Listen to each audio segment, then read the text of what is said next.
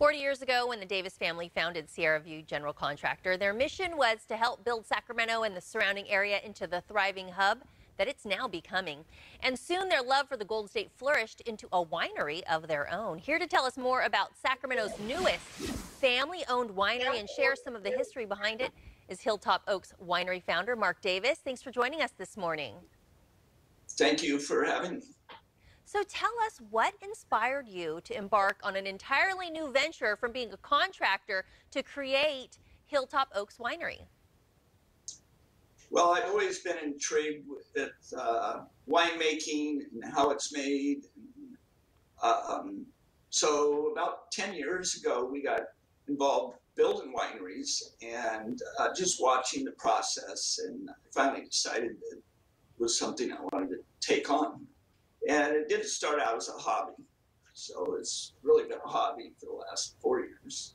That's awesome. Tell us more about your family's history on the ranch where the winery is. I mean, has it always been empty land or did it once serve another purpose?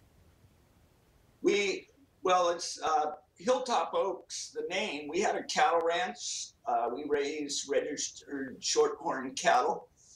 And uh, so since 1963, we've had the the land. We fenced, fenced it, and then we ran cattle here for about uh, 25 years.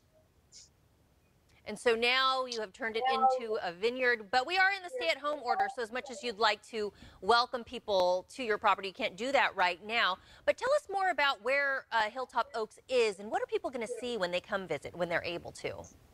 So, uh, the property's unique. We're up on top of a ridge, so we can see the Sacramento skyline. We can see Sutter Buttes. Uh, we look west out at the um, coastal range, so we can we have a very nice view from uh, this setting where we're at.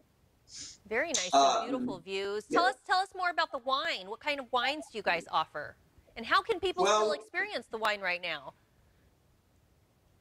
Well, right now we're obviously uh, not seeing any people. Uh, we make about seven varieties right now. Uh, um, two whites and five different, uh, uh, or, yeah, five reds.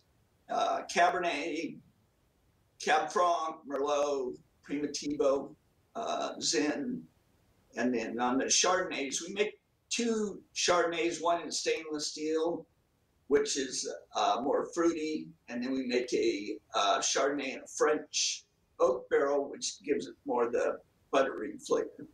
Very nice, and, and it looks like people can still enjoy your wine. They, they can maybe order it online. Do you guys deliver?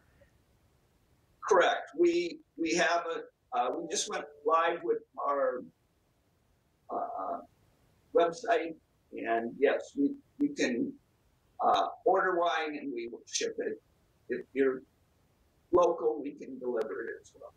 Oh, that's great. I understand some of those wines are award winning, and this is really cool. A portion of your holiday proceeds are going to go to the California Fire Foundation. Tell me about that. Yes, we. Um, I've always been a supporter of the, the fire um, fire departments and what they do, and we decided that, that this would be a um, uh, good opportunity to give back we um, consequently, Sierra View, my construction company, we built the corporate offices for the firefighters uh, association in Sacramento oh, about 10 years ago. So, um, yeah, we're glad to be able to do it. That's awesome. So people can still enjoy your wine for now, and hopefully, when you guys open back up, we can come see it in person. Appreciate you joining us, Mark. To learn more about Hilltop Oaks, you can visit htowine.com.